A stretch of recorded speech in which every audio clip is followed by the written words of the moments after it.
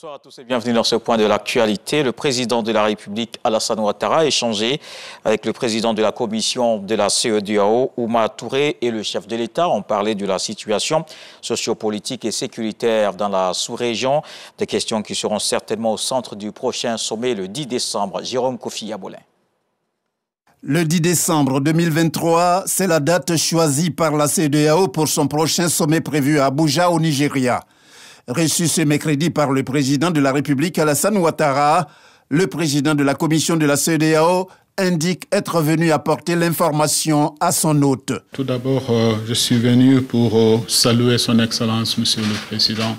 Nous sommes là pour exprimer notre gratitude euh, à ce qu'il est en train de faire pour nous ici à Côte d'Ivoire ou bien dans la sous-région. Deuxièmement, j'ai lui donné quelques informations sur le sommet de 10 décembre, le sommet de la CDAO qui s'étendra à Abuja le 10 décembre. Et aussi, j'ai fait un tour de table avec euh, son Excellence euh, pour recevoir ses conseils sur les problèmes et les, questions d'insécurité que la sous-région euh, fait face actuellement. Pour le président de la commission de la CEDEAO, on ne peut pas se lasser de saluer toutes les actions que mène le président de la République de Côte d'Ivoire, son Excellence Alassane Ouattara, au bénéfice de l'organisation sous-régionale. À l'Assemblée nationale, le ministre de la Santé, de l'Hygiène publique et de la couverture maladie universelle était face au député Pierre Demba à présenter le projet de loi sur l'exercice de la médecine. Ce texte vient mieux organiser le secteur et la pratique du métier de médecin. La Côte d'Ivoire et la Chine ont 40 ans de relations diplomatiques. La célébration de ces quatre décennies vient de s'achever à Pékin.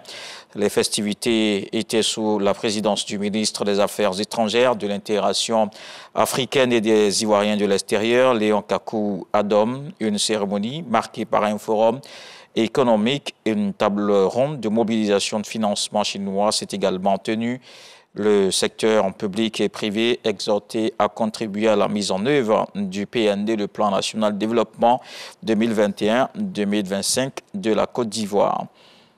Dans le reste de l'actualité au Mali, la justice accuse des chefs rebelles et djihadistes de s'associer pour semer la terreur. La Cour d'appel de Bamako pointe du doigt des chefs du groupe de soutien à l'islam et aux musulmans, le JNIM, et des rebelles du cadre stratégique euh, permanent.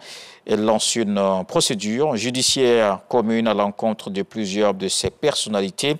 Le procureur dit avoir pris cette décision sur la base de l'exploitation du renseignement qu'il a reçu. Réaction des accusés, les rebelles nient toute forme de collaboration et assurent que chacun mène ses attaques de son côté. La COP28 s'ouvre ce jeudi à Dubaï, aux Émirats arabes unis. Près de 200 États se retrouvent demain. Il sera dressé le bilan, le premier mondial, de l'application de l'accord de Paris. L'année 2023 a été celle de tous les records de chaleur, de concertation, de concentration de gaz à effet de serre dans l'atmosphère.